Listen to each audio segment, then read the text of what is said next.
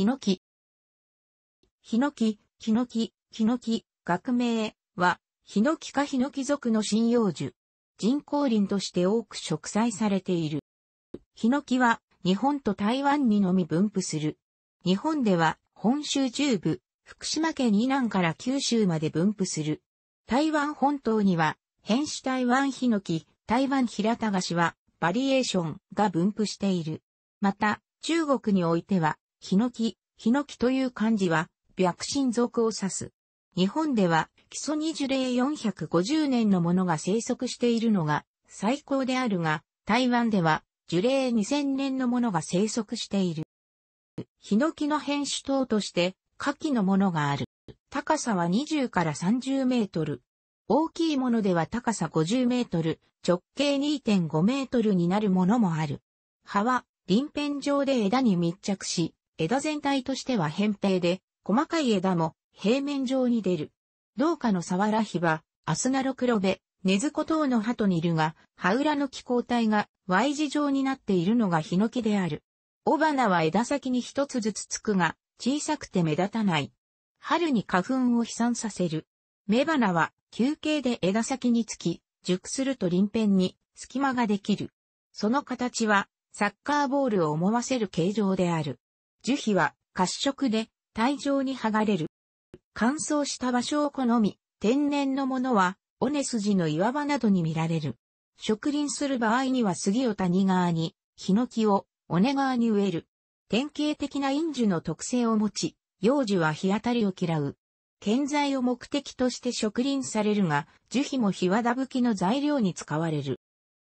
ヒノキは日本では建材として最高品質のものとされる。木材の特徴として加工が容易な上に緻密で狂いがなく、日本人好みの強い方向を長期にわたって発する。まさしく使われたヒノキの建築には千年を超える寿命を保つものがある。木目が通り、斧やくさびで打ち割ることによって製材できるヒノキは、古くから建築材料として用いられてきた。古事記のスサノ神話の中で、ヒノキを建材として使うことが示唆されている。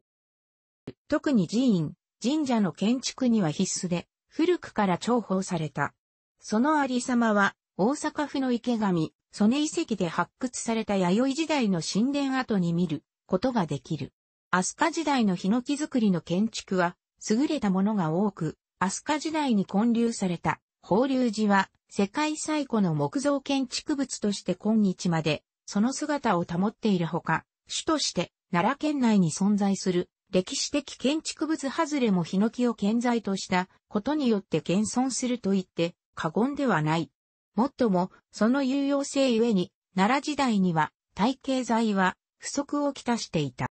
このヒノキ材枯渇のありさまが、東大寺の歴史から伺える。創建当時の東大寺は、近畿地方各地の山林で得られたヒノキ材で建造されていたが、平安時代後期の自称年間、1177年から1180年、平重平の南都焼き討ちによって炎上する。鎌倉時代に東大寺を復興した長元らは森林資源が枯渇した近畿を諦め、遥か周王国や長門国までヒノキの体系材を求めた。戦国時代末期に松永久秀の東大時代仏殿の戦いで再度炎上した大仏殿は江戸時代初期に再建されたが、その時期には諸大名による大城郭や城下町の建設も相まって大木の沸騰をきたしていた。結果、大仏殿の間口を3分の2に縮小し、溶剤もヒノキは諦め、欅の新材を杉の商材で覆い、金輪で締め上げた一種の修正材を柱として使用している。しかし、香料と呼ばれる2本の針はどうしても木材を使用する必要があり、日本中を回った末にようやく日向国で赤松の巨木を発見、延べ10万人以上の人員を使用して奈良まで運び、大仏殿はめでたく完成した。現在では一般家庭でも多く使われ、特には式の様式を持った建築物に高級材として使用される。伊勢神宮では20年に一度、社を新しく建て替える、式年遷宮と呼ばれる行事が行われ、大量のヒノキ材が必要となる。古くは伊勢国のヒノキを使用していたが、次第に不足し、三河国や美濃国からも調達するようになった。18世紀には、木曽山をおそま山と正式に定め、ここから本格的にヒノキを調達するようになった。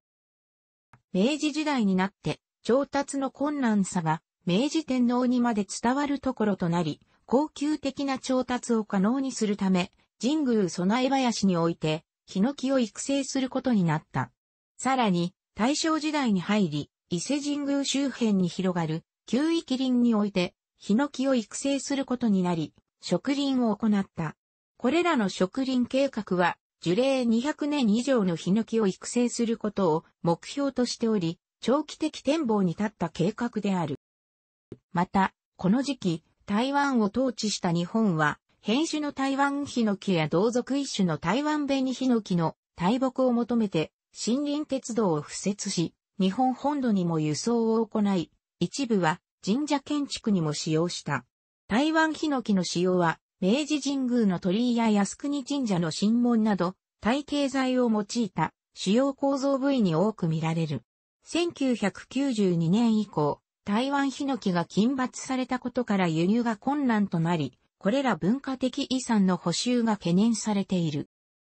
木曽山の神宮備え林は1947年、昭和22年に廃止されて国有林に編入されたため、その後はこの国有林からヒノキを購入して、式年遷宮を行っている。伊勢神宮の式年遷宮後、前回の式年遷宮で使用されたヒノキ材は、日本全国の神社に配布され、新たな神社の社殿となる。名古屋城の本丸御殿は、ヒノキ材で建てられているが、戦時中の空襲で消失した。しかし2018年の木造復元の完成を目指して2009年現在から本丸御殿の再建が始まっており、基礎のヒノキ材が使用されている。ヒノキは全国に生産地があり、各地に有名木材が存在する。特に福島県東南部以南に生産地が多い。このため、有名木材に見せかけた産地偽装が多い品目の一つである。これを防止するため、生産から流通を一貫している特定の業者に対し認証制度を制定している県もある。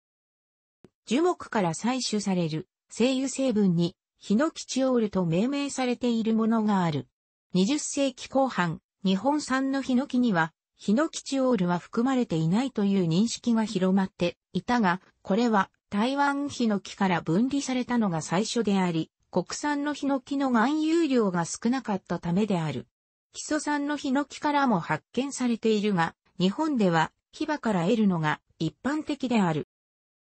ヒノキは日本においては絶滅の危機に瀕してはいないという扱いであるが、過去の大量伐採による推定の減少率の評価をめぐっては、異論も存在する。古代において火を起こすのに用いられ、ヒノキは、ヒノキという意味だという説と、尊く最高のものを表す、に血をとって、ヒノキが由来だという説がある。語源由来時点は、上代特殊仮名遣いにおいて、火の、火は、音音である一方、ヒノキの、火は、高音であることから、火の季節は妥当ではなく、ヒノキ、あるいは神宮の溶剤に用いられることから、例の木のいずれかが語源と考えられるとしている。ヒノキ科の樹種としては、日本では、ヒノキの他に、サワラヒバ、アスナロクロベイブキ、白ンなどが知られている。また、中国原産のこの手菓子は、地中海沿岸の糸杉、北米のアラスカヒノキなどもヒノキ科の樹木である。なお、最近の分類では、従来の杉科、杉セコイアメタセコイアなども、ヒノ科に統合する考え方も提示されている。ヒノキ科は、中世代に登場した起源の古い植物群で、現在は日本の杉のほか、アメリカ大陸のセコイア、中国のメタセコイア、紅葉山などが依存的に分布している。なお、チャボヒバは、ヒノキの園芸品種である。楽しくご覧になりましたら、購読と良いです。クリックしてください。